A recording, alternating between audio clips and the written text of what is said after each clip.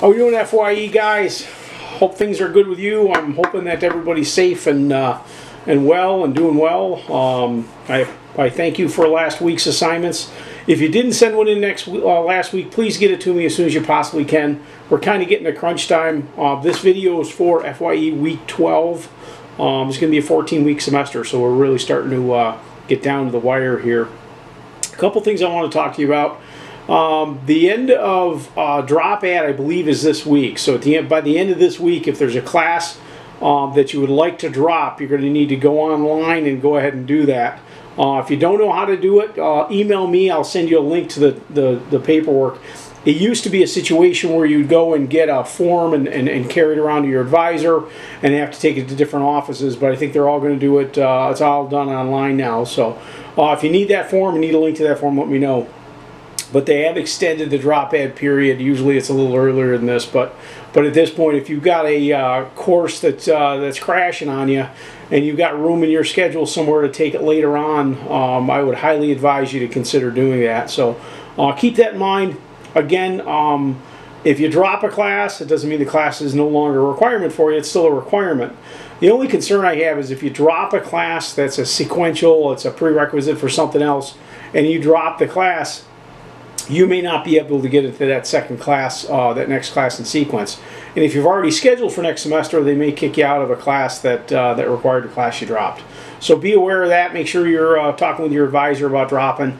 Um, I would actually suggest if you if you're considering dropping a class, email your advisor first um, and you know how to find your advisor. You go out to DegreeWorks, and the name of the advisor will be on DegreeWorks. And then you go to the faculty directory on the website, and you'll find out that uh, that faculty member's email address.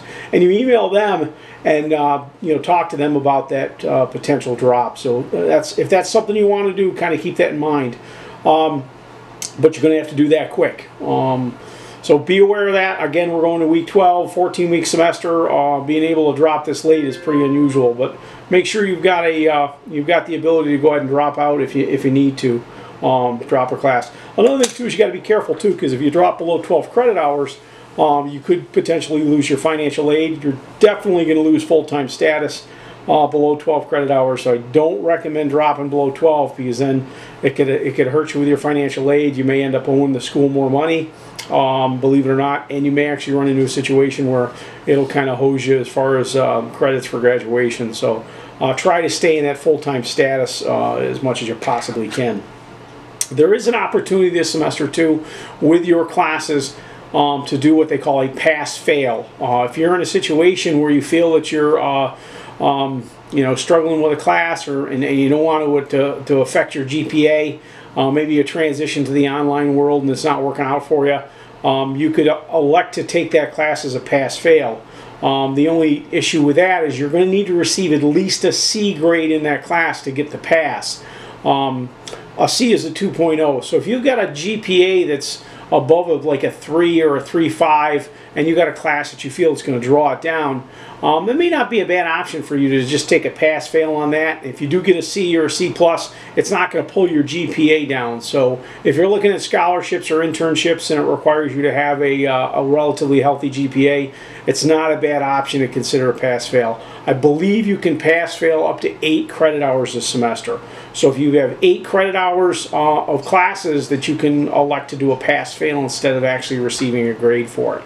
Um, the pass, if you do get a pass, it won't affect your uh, your uh, uh GPA. It won't raise it or lower it. Um, if you get a fail, basically the same thing. You don't get credit for the class, but that grade in that class is not going to bring down your GPA. So, so be aware of that. Make sure you read through all that material and understand it. But uh, you should have gotten an email on that. And again, if you missed that email, let me know. I'll see if I can find it and I'll push it over to you. But uh, those are two things that are really, really important. Another thing that's real important to us, uh, and it is to you too, is to make sure you're registered for classes this fall. Uh, because uh, we expect there's going to be a reduction in the number of freshmen coming in this fall and potentially some of the returning students, um, we may actually run into a situation where they start eliminating sections. And if there's a class that in particular that you need, you have to get into that class and you have to reserve a seat for it.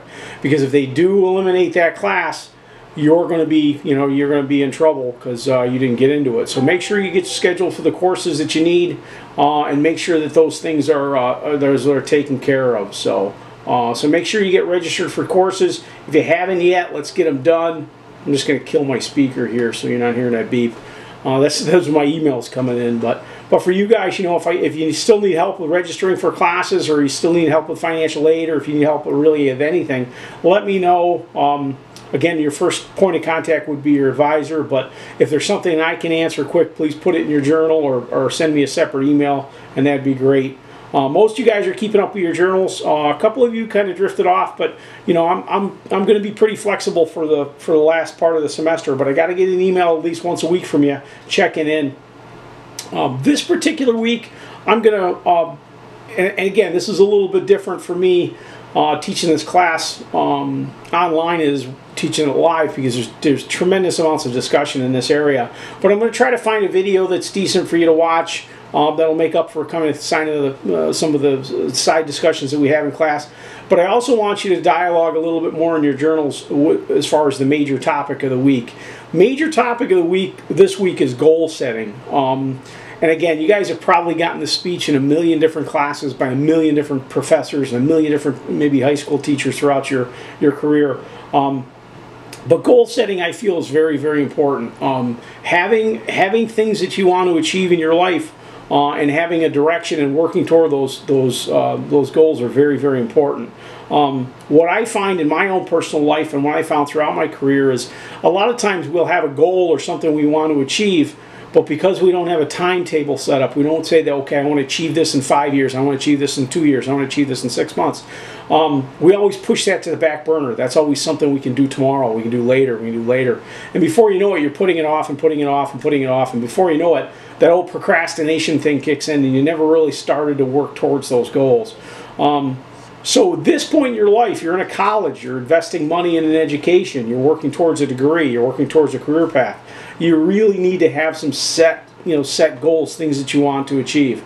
Now they're not always career minded. Um, it could be something that's a personal goal. Maybe you want to lose some weight, or maybe you want to, you know, uh, be more athletic, or maybe more healthy, or if you want to get into a situation where you maybe get away from some negative things that's going on in your life. Um, if that's your goal, that's fine. But the idea is you need to put those down. You need to write those down. You need to put those in a journal. You need to put those in your phone. You need to put those on a, on a, on a template. And the idea is as long as they're there, as long as you've identified the goals that you want to achieve, it could be a financial goal. You may say, okay, I want to make my first, you know, hundred thousand dollars by the time I'm 20. That that's cool, but the idea is you establish a goal and then you work your life around those goals. You put yourself in positions that will make you um, achieve those goals.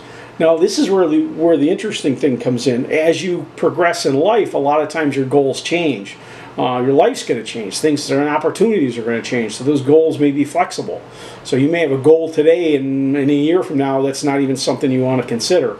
But that doesn't matter as long as you're working towards an objective. Um, the worst thing that can happen to you is you actually find yourself in a situation where you know you look back after 10 or 15 or 20 years and say these are all the things that I really wanted to achieve and I haven't really done anything to get towards them.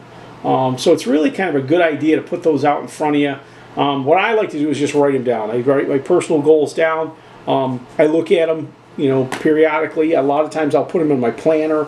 I'll put them on my, my to-do sheet. And uh, as I go through life, I look back at that and say, okay, this is what I want to achieve. I want to save a certain amount of money. I want to be a little bit more secure. I want to have a little bit better, you know, better health, that kind of thing. So those are things that are that if you put them out there, they're relatively easy to achieve because again, you're taking those in small steps at a time. Uh, right now, you guys should be building resumes. Last week, we talked about career objectives and things that you want to do in your life. Um, and again, what's a resume? A resume are things that you've achieved. Um, if you find your resume today matches the same resume you have in 15 years, that means you haven't had any experiences. You haven't actually done any personal growth or professional growth along the way. Um, some of you, your goal may be to travel and see the world, and that's fine. But you got to put yourself in a financial position or put yourself in a position to be able to personally go out and do that. Um, the goals are, are, are, are, anything. It doesn't have to be professional. It doesn't have to be financial. It doesn't have to be health. It can be anything that you want to achieve. But what it is is a target, something for you to work towards. Um, athletes do it all the time. They want to run faster. They want to run better. Um, basketball players want to score more, you know, baskets, that kind of thing. The way they achieve that is through practice, and the practice is conditioning themselves for those particular goals that they're looking for. But if they don't practice, um, they, they, they're never going to achieve those things. So the idea is to put yourself in a position where this is my goal, this is what I want to achieve. And it may be a one year goal, maybe a two year goal, five year, it could be a 10 year goal, it could be just a life goal. But the idea is you, you put that in and that's something you focus on. And if you ever find yourself in your life in a position where you don't have anything to do or you're, you're finding yourself, believe it or not, you're bored, you're, you're in a situation where you feel you need to, need to go do something, grab that goal list, take a look at it, see what you can do. Um, some of the biggest successes I've had personally and professionally have been just you know going back and looking at those goals anytime I get depressed with my job and cracking open the help wanted ads, find out what's available out there. If I find a job that interests me, I find out what's required for me to get that job, and then I work towards those requirements. Um, and that's that's opened a lot of doors for me. In some cases, the the process of the path that you take to achieve the goals is sometimes more rewarding than the actual achieving the goal. So kind of keep that in mind. So my assignment for you guys, I'm going to get a video out there to you. Uh, I'm sure there's some stuff out on YouTube. There's probably a thousand videos out there on YouTube that'll that'll uh, probably do better than I just did talking about goal setting and priority setting and stuff like that. So I'm going to try to find some of that for you. But what I'm looking for from you from this week is I want you to give me three goals. Okay, one goal is going to be professional. What do you want to achieve professionally in the next five years? Where do you see yourself degree wise, professionally wise, working wise, where are you going to be within your, your particular chosen industry in five years? Okay. Um, and again, put it out there. Put it out there. Make, make it